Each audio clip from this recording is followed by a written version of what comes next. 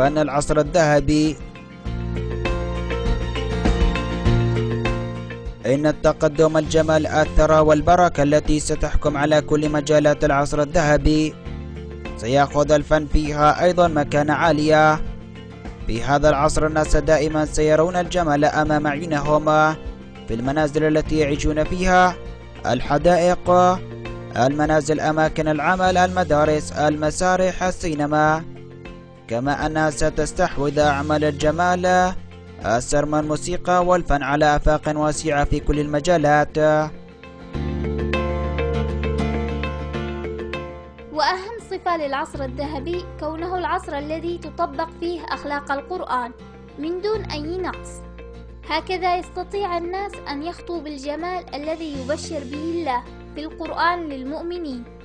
يصف الله تعالى في القرآن الحياة التي سوف يعيشها المؤمنين في الدنيا على الشكل التالي.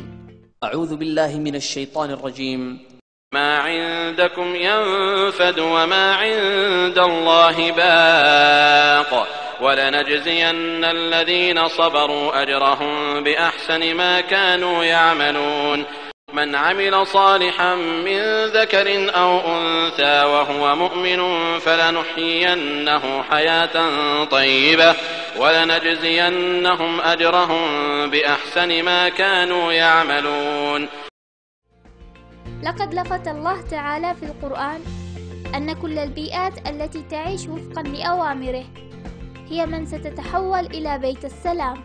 لذلك بشر المؤمنين الذين يتبعون هذه الأخلاق بأنهم سيعيشون في جمال إن كانوا في الدنيا أو في الآخرة وسينعمون بحياة الجنة الأبدية.